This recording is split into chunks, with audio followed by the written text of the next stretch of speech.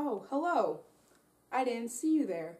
But now that you're here, it would be an honor to have you listen to my public service announcement.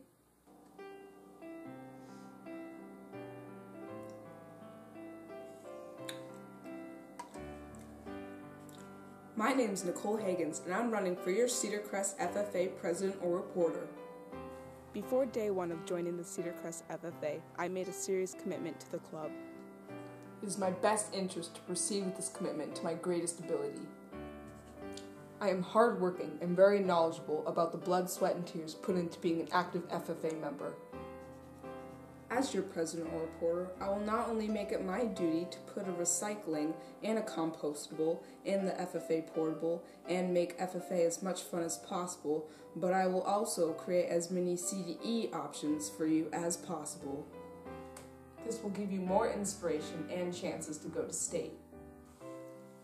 You will meet new people, make new friends, and you may even find yourself wanting to do a career that you never thought you'd have an interest in.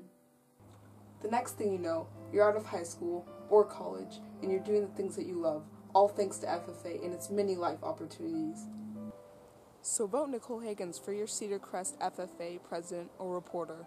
And remember, I can change your life.